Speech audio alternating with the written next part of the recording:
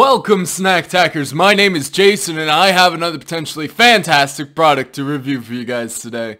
But first, I want to remind you to like, comment, subscribe, hit that bell, all the fun YouTube stuff. Now let's get to talking about this product. This is a new brand and a new product, but not a new idea. These are these uh, uh, kind of protein-packed balls, but you know they're they're like dates and all sorts of things are the, what they're made out of. But this is the brand Frooze Balls. This is the peanut butter and jelly flavor. That's right, Frooze Balls. I don't know. They're three vegan energy balls. Uh, on the back there's a blurb which we'll read in a voice. I'll decide as I'm reading things. Uh, the nutritional information, three balls per serving. Uh, that's 170 calories. It's Good fiber. Not too bad sugar. Kind of low protein. Tis what it is, tame what it isn't, as I always say. These were purchased from a Walmart for a dollar 88 or 48. Come on, Jason. I just told you to write better. I'm checking the other one now to see what the price is. Yes, there are two. A dollar forty-eight. It's a dollar forty-eight.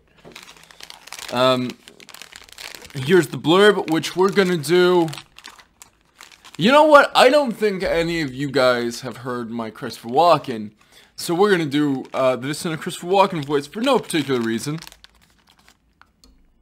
All the yum of a PB&J sandwich is infused into one little coconut-covered incredible ball to keep your taste buds happy and your body too. Real fruit, tasty nuts, zero junk, Frooze balls, funny name, serious plant power. Uh, infused, so it's not saying what the infused means. I'm assuming it's fruit that's been infused. Inside it looks like there's, again, a date outside with coconut on top and then PB&J on the inside. That's just what it looks like. Whoa, inside these are way bigger than I thought. smells like PB&J. You know how much I love PB&J.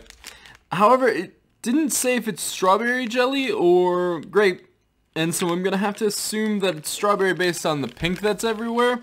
But if it's grape, that's going to be a bummer for me. Let's give this a try. Three, two, one, snack attack.